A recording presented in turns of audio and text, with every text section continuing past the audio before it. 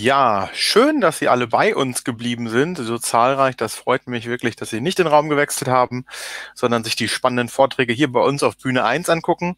Ähm, hier geht's gleich äh, los mit einem Vortrag von Jakob Miksch. Wer hat an der Uhr gedreht? Zeitbasierte Geodaten modellieren, abfragen und visualisieren. Wenn Sie Fragen während des Vortrags haben, wissen Sie ja auch schon aus den anderen Vortragen sicherlich, gibt es im Venuless rechts neben dem Bild ein Fragenreiter, dort einfach die Frage stellen. Falls jemand anderes die Frage schon gestellt hat, einfach nochmal hochvoten. Ähm, je mehr Stimmen eine Frage hat, desto wahrscheinlicher ist es, dass wir diese im Anschluss dann quasi mit ähm, Jakob Miksch besprechen. Und von daher bleibt mir jetzt nur viel Spaß zu wünschen und ähm, der Vortrag geht los. Bitte schön, Jakob. Hallo, mein Name ist Jakob Miksch. Ich darf Ihnen heute einen Vortrag halten zum Thema Wer hat an der Uhr gedreht? Zeitbasierte Geodaten modellieren, abfragen und visualisieren. Den Vortrag halte ich zusammen mit meinem Kollegen Christian Mayer. Wir sind beide von Maximum. Wir sitzen in Rheinland-Pfalz in Mutterstadt und bieten Dienstleistungen im Bereich Webmapping, GIS, GDI an und machen alles äh, maßgeschneiderte WebGIS-Lösungen, Softwareentwicklung, prinzipiell alles rund um Geodaten und auch gern Beratung und Schulung. Ich steige gleich direkt in, das, in den Kern des Themas ein, und zwar die Frage der Zeit. In den, der Geoinformatik beschäftigen wir uns ja eh schon mit zwei beziehungsweise drei Dimensionen, also natürlich X und Y, also äh, vereinfacht gesagt Längen- und Breitengrad oder auch ab und zu die Z-Dimension, also wenn die Höhe noch mit ins Spiel kommt. Und wir wollen jetzt mal beleuchten, was passiert, wenn man eben noch eine vierte Dimension, also die Zeit mit dazu nimmt. Wir haben im vergangenen, äh, vergangenen Monaten und Jahren äh, viele Erfahrungen äh, im Projekt Sauber gesammelt. Dabei geht es um Luftschadstoffe in verschiedenen äh, Städten mit äh, Partnern zu messen, zu verarbeiten, Vorhersagen zu treffen und die ganzen Daten äh, gesammelt in einer Infrastruktur mit offenen ähm, Standards bereitzustellen. Im letzteren war eben unsere Aufgabe und da haben wir eben viel mit zeitbasierten Daten zu tun gehabt, sowohl im Raster als auch im Vektorformat. Ähm, und da wollen wir jetzt eben ein paar Erkenntnisse teilen.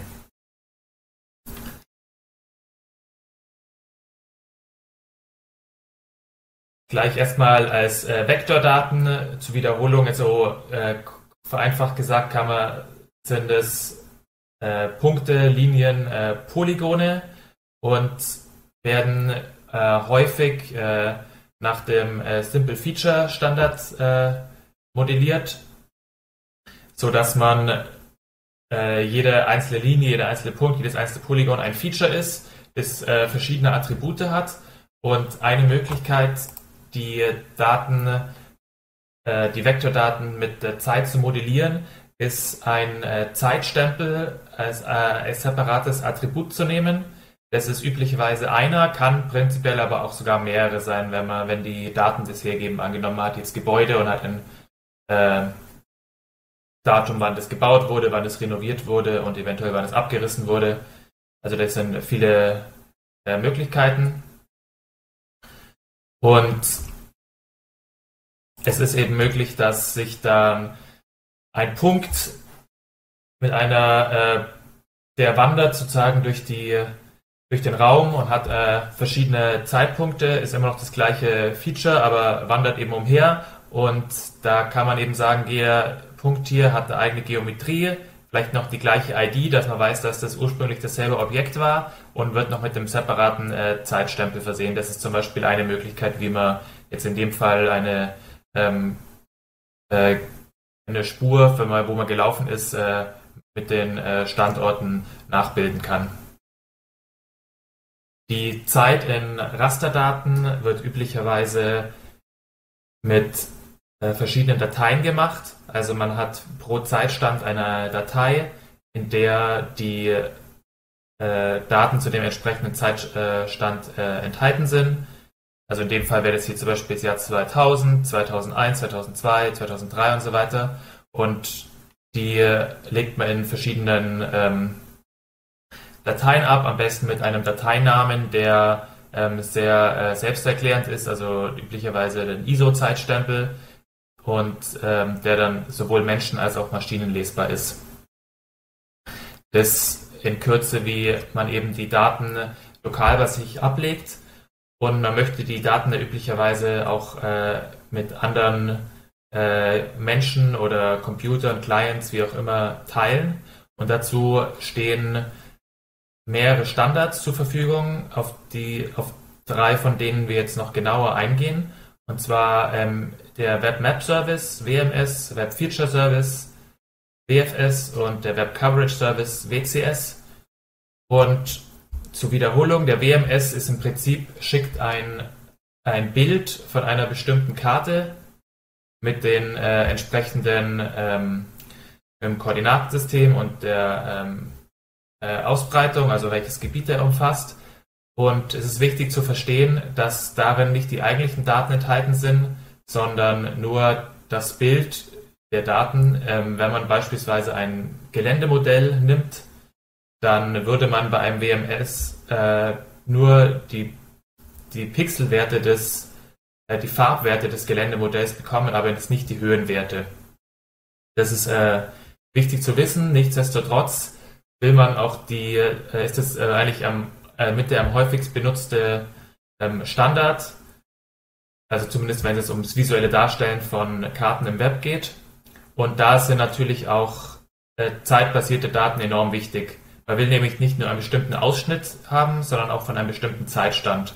Das könnten zum Beispiel historische Daten sein.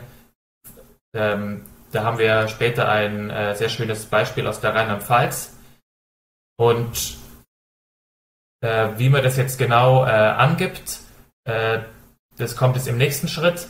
Und zwar hat der WMS-Standard äh, einen schon direkt eine Möglichkeit, die Zeit abzufragen mit der Dimension äh, Zeit. Die wird hier in dem Capabilities-Dokument beschrieben, also das Dokument, das äh, beschreibt, welche Möglichkeiten jetzt von diesem Service ausgehen, also was man abfragen kann. Und hier wird beschrieben, dass ich diesen speziellen Service äh, abfragen kann. Und zwar äh, im zeitlich, in einem bestimmten zeitlichen Fenster, das hier angegeben wird, und zwar äh, mit, äh, das hier ist die, der Startzeitpunkt nach, mit einem ISO-String definiert, das ist in dem Fall ist der 22. Juli 2020 bis zum ähm, 5. Äh, Mai 2021 und dann PT eine Stunde, das heißt in, eine, ähm, in einem Stundenrhythmus. Diese äh, Formulierung mit dieser, mit der kann man beliebig viele Zeitabstände modellieren. Also man kann jetzt sagen, alle 24 Stunden, alle 30 Sekunden, alle 10 Jahre und auch sehr krumme Zeiteinheiten kann, können damit modelliert werden. in dem Fall sagt es eben in den Zeitraum zwischen diesen beiden äh, Zeitstempeln in mit ein Stunden Abständen sind überall äh, Daten vorhanden und es gibt einen Default-Wert, das ist äh, dieser hier und wenn ich jetzt beispielsweise äh, einen bestimmten Zeitstempel haben möchte, dann mache ich eine WMS-Abfrage, die enthält die ganzen klassischen Parameter, die man sonst auch kennt. Die im, im Groben ist es jetzt hier, also was jetzt für uns erstmal wichtig ist, ist die Bounding Box, äh, also die Koordinaten, äh, die, die das Sichtfeld beschränken, das Koordinatensystem und zusätzlich noch dieser Time-Parameter, wenn ich den angebe, dann kriege ich eben das Bild zurück von dem bestimmten Zeitstempel. Wenn ich den weglasse, dann wird dieser Zeitstempel genommen, der hier als Default angegeben ist. Beim äh, WFS ist die Sache ein bisschen komplizierter, weil die Zeit im Standard nicht direkt vorgesehen ist. Man muss sozusagen die die Attribute des Features muss man selber abfragen mit äh, sogenannten OGC-Filtern, auf die ich dann gleich zu sprechen komme. und es ist ein größerer Unterschied zwischen WFS 1 und WFS 2. Und wir haben ja vorher schon gesprochen, wie man die Daten bei sich äh, lokal modellieren kann.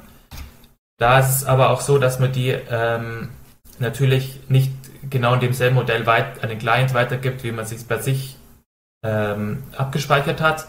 Nehmen wir jetzt mal an, wir haben jetzt äh, Messstationen, die zu bestimmten Zeitständen bestimmte Werte messen.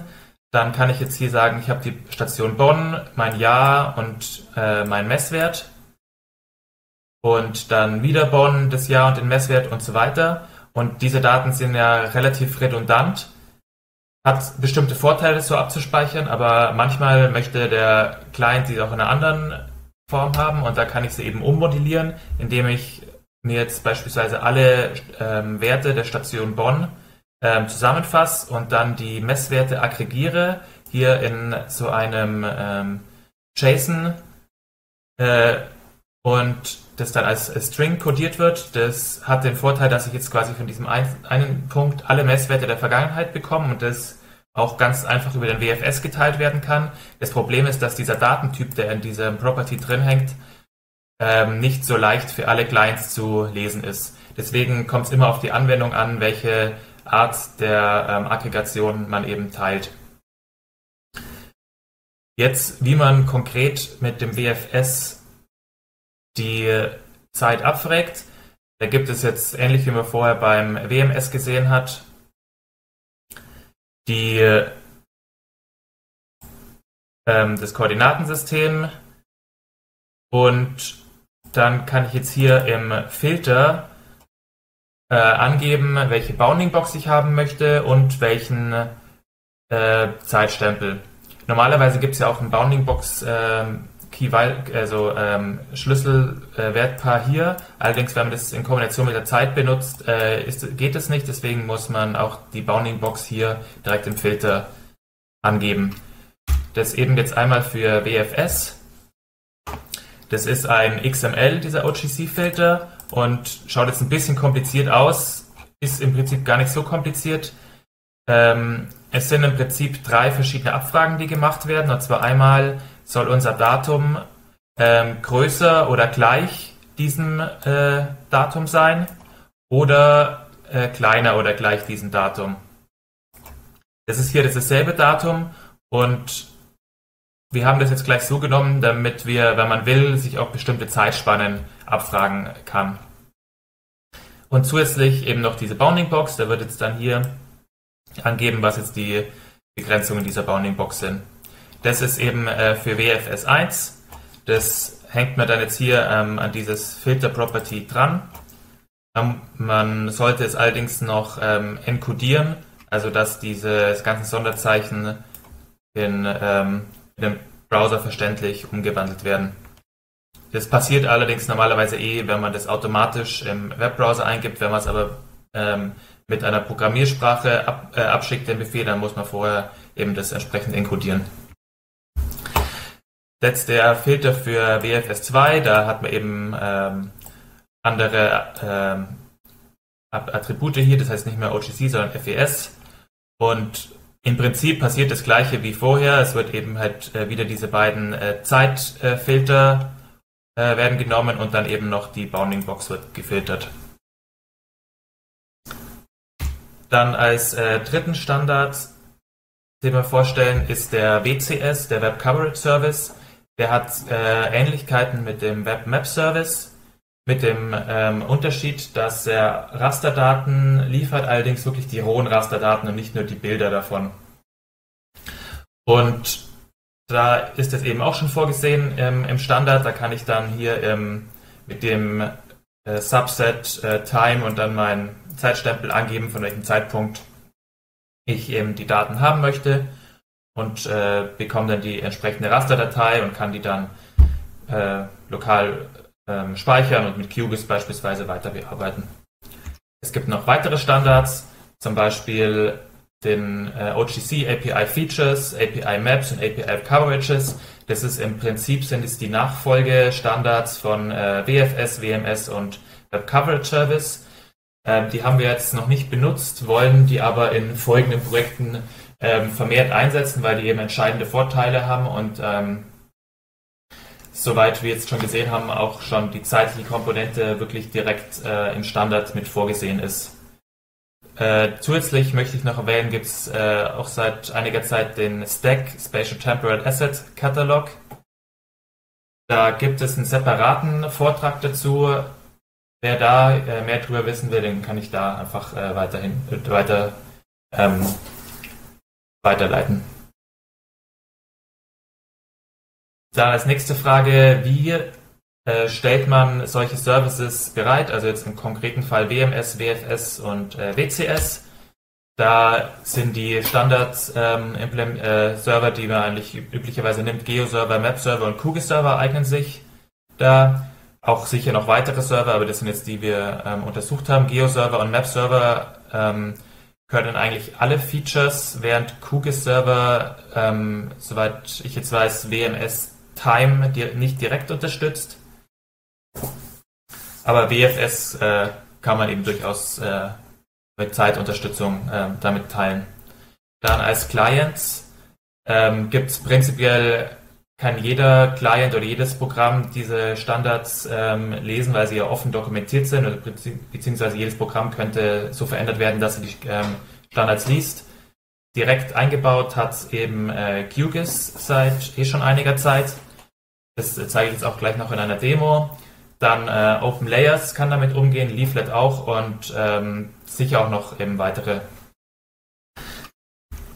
Dann hier haben wir ähm, im QGIS äh, ein äh, Layer reingeladen von ähm, Global Floods. Das sind äh, Regen.